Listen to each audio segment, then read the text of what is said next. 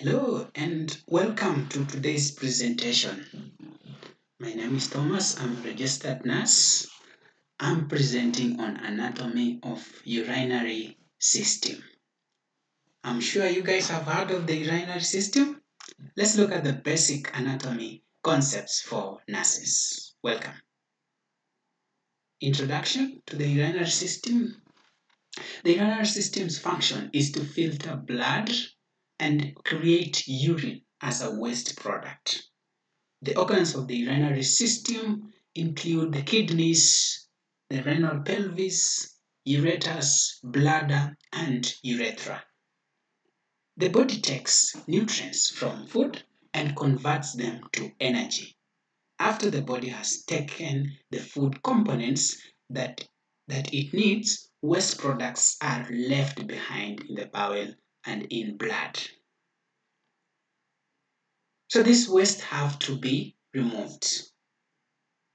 When looking at the diagram of the urinary system, we can appreciate the two kidneys, left and right kidney. We can appreciate the ureter, right? The urinary bladder, the sphincter, and lastly, the urethra. These are the major parts of the urinary tract.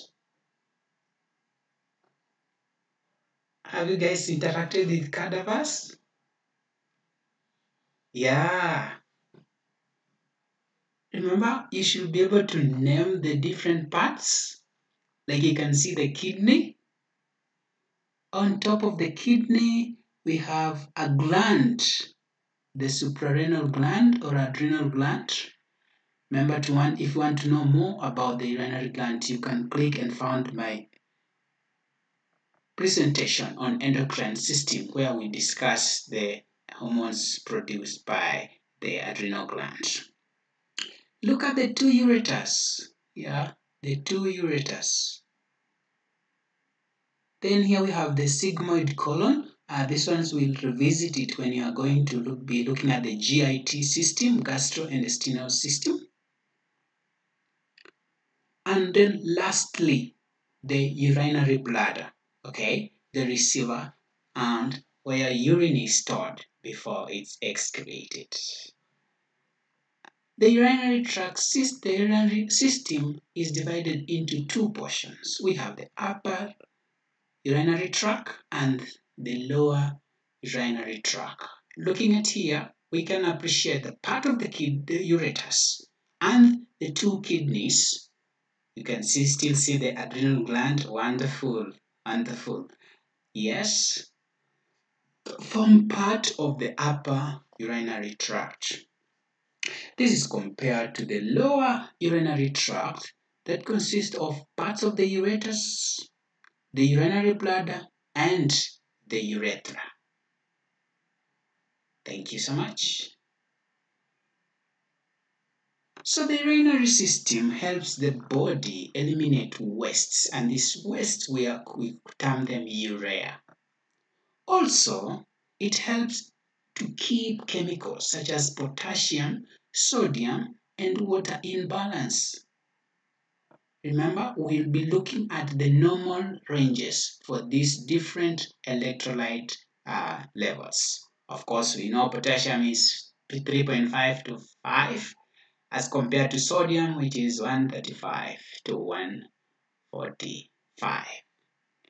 So urea is produced when foods containing proteins such as meat, poultry, certain vegetables are broken down in the body. So urea is carried in the bloodstream to the kidneys where it is removed along with water and other waste in the form of urine. Guys, urinary system, urine. At this juncture, we should be able to be knowing that that is the major role of the urinary system, urine, formation of urine and removal or excreting it. So the first component of this urinary system, we have the kidneys, and you say there are two, it's a pair. They are bean-shaped, They are purple-brown organs. They are located below the ribs in the middle at the back. We normally say that the kidneys are retroperitoneal. And retroperitoneal means they are not wrapped with the peritoneal layers the way most abdominal organs are, but rather are placed behind it, behind the peritoneal cavity. We should be able to appreciate the ureter, the renal vein, renal artery, the calyx, renal pelvis, the medulla, and the cortex. Of course, we have the outer one, the cortex, and the inner one, medulla. When you try to look at the, some of the facts and the parting shots about the kidney, we say that it is positioned retroperitoneally, and that's what we had said, and consists of the cortex and the medulla, empties urine into the ureter, which carries urine to the urinary bladder. So the kidney also has an artery, and we're saying that here we have the renal artery, which is the branch of abdominal aorta. For the vein, we have the renal vein, which normally drains into the inferior vena cava, back to the right auricle, where it is taken back to the lungs for oxygenation. We have for innervation, we have the renal plexus, clinical significance includes uh, we could be having third kidney, horseshoe kidney, kidney agenesis, kidney stones, and even acute renal failure. We have a quiz, guys. I'm giving you a minute. The question reads that the kidneys are located retroperitoneally. This means they are dash the peritoneum. Posterior, anterior, inferior, superior, ipsilateral. A minute. Very good, guys. We said behind the peritoneum, posterior the peritoneum. Very good. That was excellent. When you compare the right kidney and the left kidney, we can see that the left kidney uh -oh, is slightly above when you compare with the right kidney. So the left kidney is slightly higher compared to the right kidney. And which organ is found at the right side of the kidney, above or superior to the left right kidney? The liver, wonderful, the liver. So the liver is found here, so it slightly pushes the right kidney to be at, at least lower. Whereas on this other side, we have the stomach and the heart superior to it. So there is now space where the left kidney attempts to occupy. Great guys. So you can see they are not per se at the same level. The left kidney is slightly elevated. So external anatomy of the kidney, the kidneys are located between the transverse process sorry, of T3 and L3 vertebrate. The left kidney, as we have said, typically positioned slightly more superiorly than the right. And this is because the liver and the stomach offset the symmetry of the abdomen, with the liver forcing the right kidney a bit down and the stomach forcing the left kidney a bit up. The superior poles of both kidneys are more medially pointed towards the spine than the inferior poles. The hilum of the kidney usually projects at the level of L2 vertebrae. Thus, the ureter is seen uh, para, vertebrally starting from the L2 and going downwards. Very good. So the next portion of this section, we are describing the blood flow in the kidney. We are saying that blood enters the kidney through the renal artery, which is a branch of the abdominal aorta.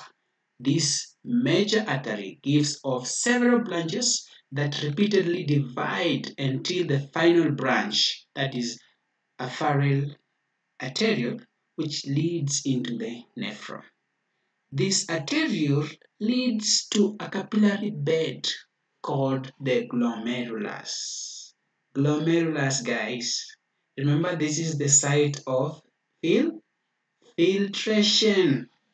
So blood moves the capillary bed through the efferent arteriole, which leads to another capillary bed known as the peritubular capillaries. After the capillary bed, the veins merge into large vessels that lead into one renal vein, leaving the kidney, which drains into the inferior vena cava. Wonderful.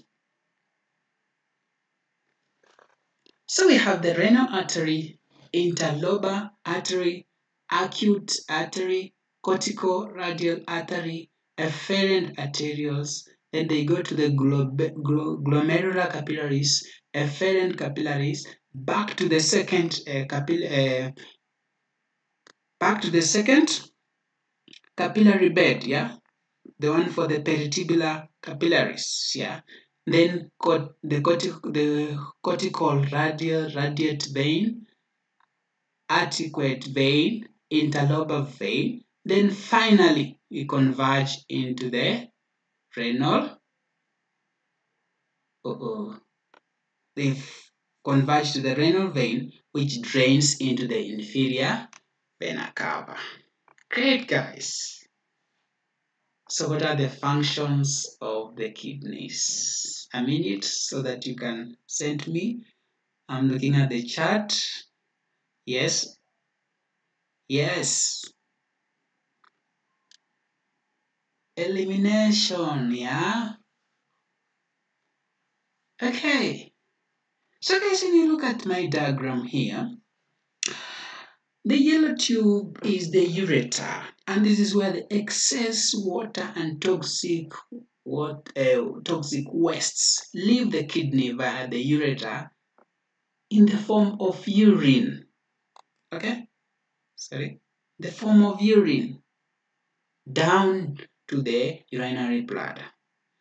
Here we have the renal vein, the one that we have just talked about here. Um, the, it needs to drain needs to drain the kidney into the inferior vena cava. So filtered blood or excess water leave the kidney through the renal vein. This is back to the system or the body system. The renal artery, this is where blood, waste, and water enters the kidney through the renal artery for the process of uh, filtrations and purifying it before it can be taken back to the body. Ideally, those are some of the functions of the, the kidneys. You should have at least seven functions of the kidney.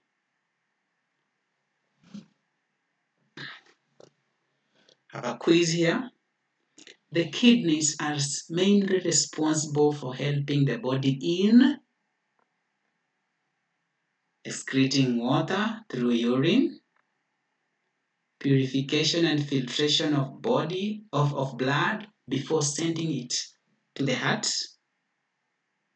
removal of waste and toxins from the body, stimulate RBC, that is production in the bone marrow, regulation of blood pressure, maintenance of fluid balance, electrolytes and minerals, production of calcitriol that maintains calcium in the body. We only need to select one answer here. The question is mainly. Thank you. Uh, yes, yes, I agree that all these are the functions of the kidneys. But which one is the major one? Ladies and gentlemen, we need to have picked A, excreting water through urine. We said urinary system, formation of urine. Yeah? Great. So the kidneys, we have functional units of the kidney and they are referred to as the nephron. So he's saying that the renal corpus consists of a capillary bed called the glomerulus and a capsule of epithelial cells. The hydrostatic pressure of blood forces water and solutes out of the blood and into the capsule glomerular filtrate collects into the capsular space before entering the first portion of the renal tubule, known as the proximal tubule. After flowing through the proximal tubule, fluid enters the nephron loop, which extends toward the renal papilla. Fluid in the distal tubules will flow into a collecting duct. So that's how the nephron is. So if you're trying to list the urine producing structure in the correct order, we'll be having the glomerular capsule leading to proximal convoluted tubule. Then you have the nephron, distal convoluted tubule, and lastly, collecting duct. Yes in terms of diagrams, you can see I've tried to explain here of the glomerular capsule. Yeah, we go to the glomerulus.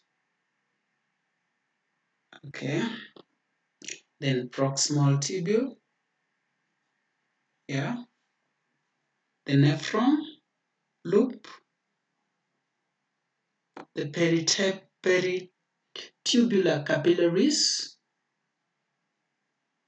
then the distal tubule, then the collecting duct. Great. Great, guys. Thank you very much. So the glomerulus, its role is to it's involved in the filtrations of fluids and solutes from the plasma. Glomerular capsule receives the plasma filtrate. What about the proximal convoluted tubule? It helps in reabsorption of nutrients, glucose, various ions, and water. Descending loop of descending limb of nephron of loop, nephron loop, yeah, or loop of Henle, yeah. It is involved in reabsorption of only water. What about the ascending? Ascending loop of uh, Henle. Saying this one you have selective reabsorption of sodium, potassium, and chloride ions. Then the distal convoluted tubule, we have reabsorption of sodium, water, and secretion of hydrogen and potassium ions. Thank you. Thank you so much. So can you answer, can you attempt to answer this question? What tube-like structure carries urine from the kidney to the bladder? Yeah, this one has no multiple choices. You just need one answer. Ureters. Very good. Very good. So the ureters are bilateral, muscular, tubular structures responsible for taking urine from one kidney to the urinary bladder for storage prior to excretion. After bladder has been filtered in the kidneys, the filtrate goes a series of reabsorptions and exudation through the length of the convoluted tubules. The resulting liquid then passes to the collecting tubules, after which it enters the collecting ducts. From the collecting ducts, the urine passes the, the, the calyxes to the renal pelvis, which marks the beginning of the ureters. So the arterial supply to the uterus comes directly and indirectly from abdominal aorta. It's good to note that there is no ganglia on the ureter. However, it receives both sympathetic and parasympathetic innervation. Facts about the ureters. We are saying that uh, histologically it consists of transitional epithelium with longitudinal and circular muscle layers. Relation starting with the right ureters, we have the psoas major, the genitofemoral nerve, duodenum, branches of superior mesenteric vessels, and the bladder. Compared to the left ureters, the relations, in terms of relation, we isn't borders the, the psoas major, genitofemoral nerve, branches of inferior mesenteric vessels, and the bladder. In terms of blood supply, uter uh, ureteric branch of the renal artery it could be ovary for the females or testicular artery, ureteric uh, branch of the abdominal aorta, branches of the superior and inferior ve ve vesicular arteries. In terms of innervation of the ureters, we have renal plexus and mm-hmm. ganglia, ureteric branches of intermesenteric plexus, pelvic splanchnic nerves, inferior hypogastric plexus. What about the lymphatic drainage? Are the common precaval and lumbar lymph nodes that are involved in lymph drainage. Great. It's important to know that the ureters are collapsible. They are S-shaped channels. They vary in length of about 25 centimeters in length. They are widest at the renal pelvis, where they are leaving the, the kidneys, and narrow progressively as they enter the urinary bladder in that concavity of the true pelvis. The lumen of each ureter is lined with um, a mucosal layer of transitional epithelium. This accommodates the increase in pressure that accompanies increase in the volume of urine leaving the kidneys. So this is very important because it aids to minimize the risk of rupturing the ureters. These conduits have several infolding caused by multiple layers of smooth muscles throughout the uret ureteral wall. Histologically, there are two muscles layers in the wall of the ureter. We have the longitudinal and the circular muscle. In the lower segment of the ureters, another longitudinal layer can be found proximal to the bladder. Urine is propelled along the ureters by the peristaltic motions initiated by the pacemaker cells in the proximal renal pelvis. It is the whitish and non-pulsatile exterior along with the peristaltic waves, which helps to distinguish between the ureters and blood vessels. I hope no one is will confuse the ureters and blood vessels, especially on the yes. Great. What is the clinical significance of the ureters? We are saying that obstruction of the ureters leads to pooling of water in the renal pelvis, resulting in conditions such as hydronephrosis. Also, the uterus normally become distended and the patient present with pain along the tip of the ninth costal cartilage to the end of the common iliac artery. So dilation can occur over a short period of time and if left untreated may result in dysfunction and possibly contribute to acute renal failure. Consequent to the obstruction, renal atrophy may also happen. So renal obstruction may also be caused by the formation of kidney stones or they may be blocked as a result of extensive convolution arising from ectopic kidneys. Cysts arising at the ureter pelvic junction can also result in renal obstruction. So in terms of clinical significance, we talk of renal obstruction, acute renal failure, hydronephrosis as major clinical significances. So from the ureter, where do we go, guys? The urinary bladder. This one is a hollow organ that functions to store urine. We have the parietal peritoneum, forms the serous coat on the outer surface of the bladder. Yes. We have the, the detrusor muscle and it's part of the muscular coat layer of the bladder. This tissue contracts to help expel urine from the bladder. The submucosous coat of the urinary bladder is a layer of connective tissue that contains blood vessels and nerves. We talk of the transitional epithelium of the urinary bladder, which lines the lumen and prevents urine from diffusing from the lumen. The epithelium is part of the mucous coat. Take, for example, the male urethra. Yes, because you are from the urinary bladder, the urethra so has regions, yeah, like the prostatic urethra. Yes.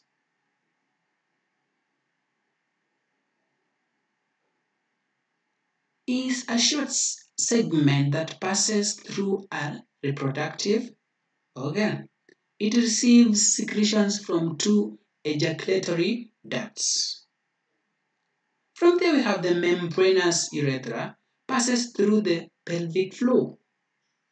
Then you have the penile urethra. This is the longest part of the male urethra. So the urethra has three regions when you're referring to male urethra. Prostatic urethra, membranous urethra, and penile urethra. Urine normally exists, exits from the urethra via an external urethral orifice. On my far right are the diagram you can see ureter, urinary bladder, urethra, prostate, prostate gland, the serous cord that we are talking about. Yeah. Great guys. I have a question for you. The external urethra, urethral sphincter is made up of dash muscle is the cardiac muscle, smooth muscle, skeletal muscle, longitudinal muscle.